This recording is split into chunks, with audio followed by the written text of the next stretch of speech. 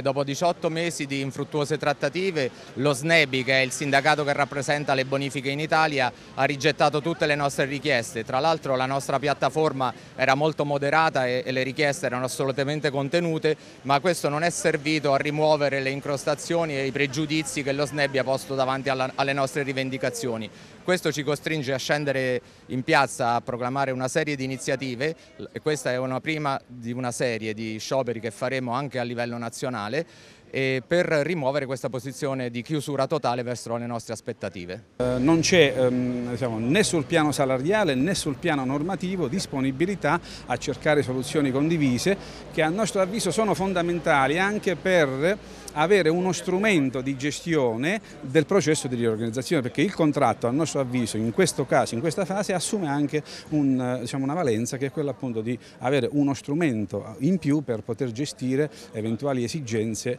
eh,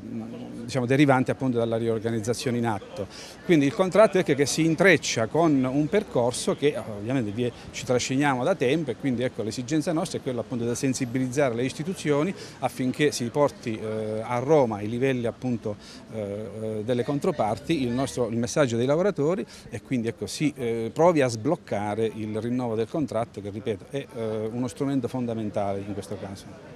Quando si parla di diritto salariale a quanto ammonta la perdita dei lavoratori in questo momento? Beh, perdita, la perdita dei lavoratori è abbastanza alta, cioè noi abbiamo chiesto un 6%, loro vogliono andare a un 2,7% con un indice IPCA che per noi è improponibile. Fare fuori addirittura l'anno 2015 non considerarlo per niente, quindi per noi è inconcepibile accettare questa situazione. Noi andremo avanti con una serie di, di, iniziative, avremo lo sciopero il 28 luglio a Roma, lo sciopero nazionale e poi dopo vedremo quello che succederà, cercheremo di convincere la controparte in qualche maniera e quindi scenderemo in piazza di nuovo per queste, queste iniziative.